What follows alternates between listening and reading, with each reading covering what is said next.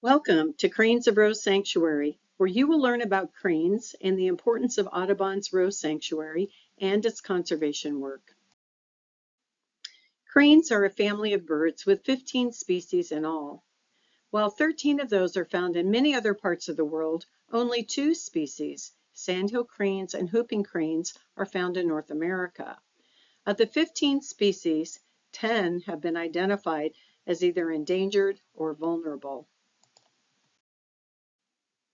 Of those 15 species, whooping cranes are the least abundant, with a total population of only 836 in 2023. Sandhill cranes, on the other hand, are the most abundant of the crane species, with a population of over 1 million birds that use three different flyways.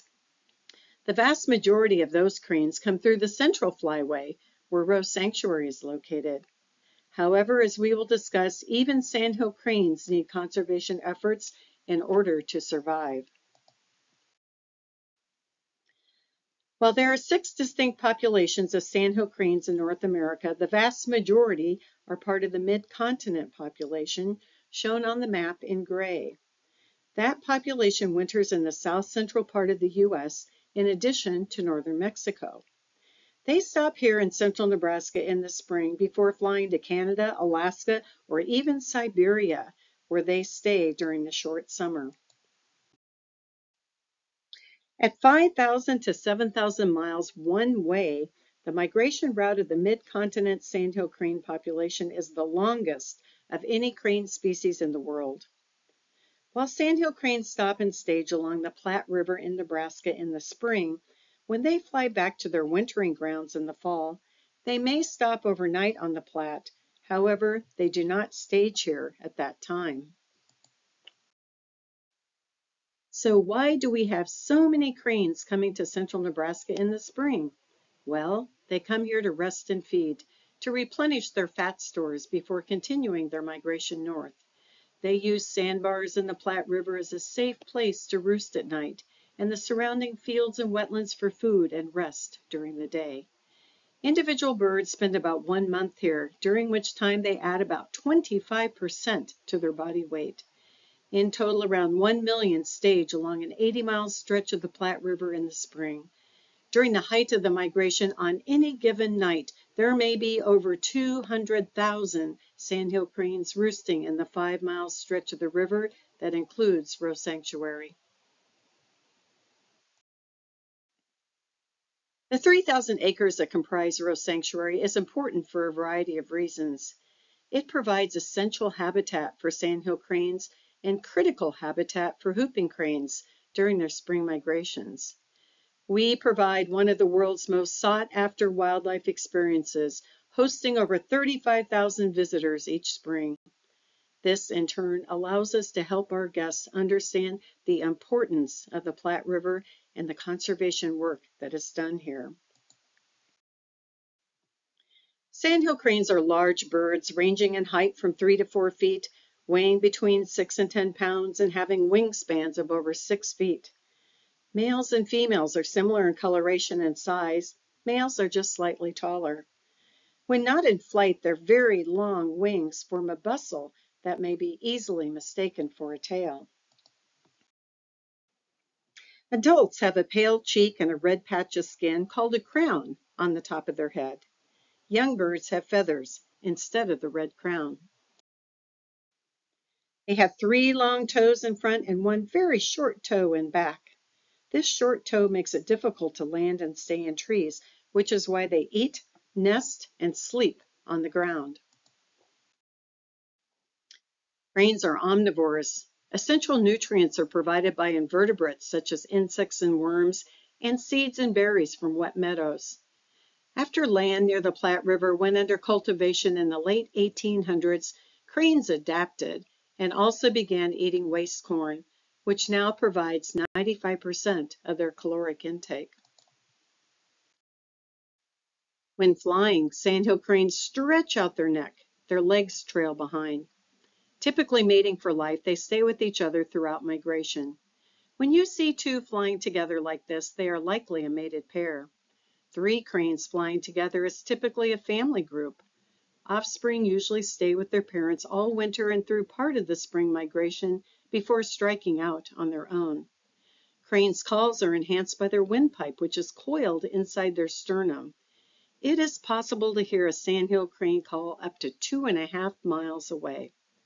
Hearing their vocalizations is an important part of the experience here at Rowe Sanctuary, where you can hear hundreds and sometimes thousands of cranes calling to each other. This is what a typical adult call sounds like.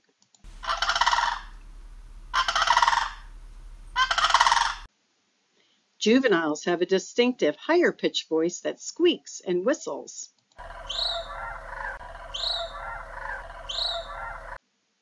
Even when thousands of adults are calling, you can still hear the juveniles vocalizing.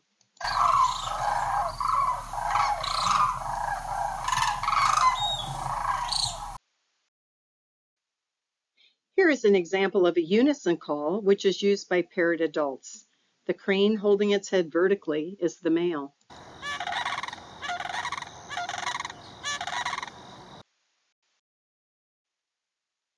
Sandhill crane adults are gray, juveniles are rust-colored. They are one of the very few bird species that actively paint their feathers a different color.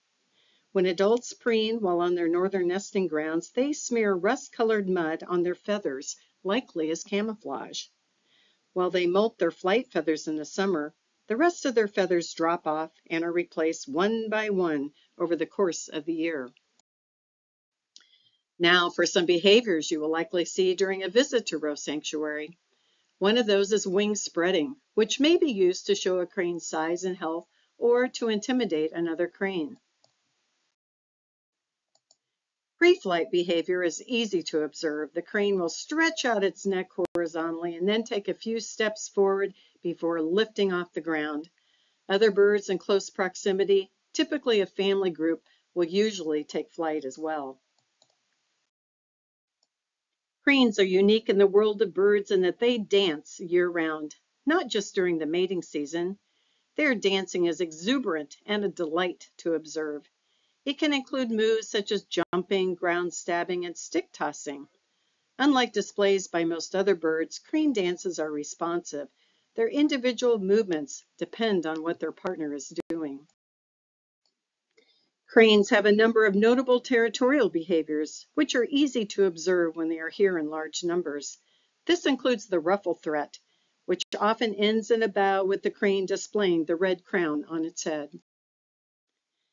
After reaching their breeding grounds, mated pairs build or repair their nests in wetlands using nearby plant materials. Females usually lay two eggs three days apart. Typically, only one chick survives. Once chicks hatch in late May, they are ready to walk after just a few hours.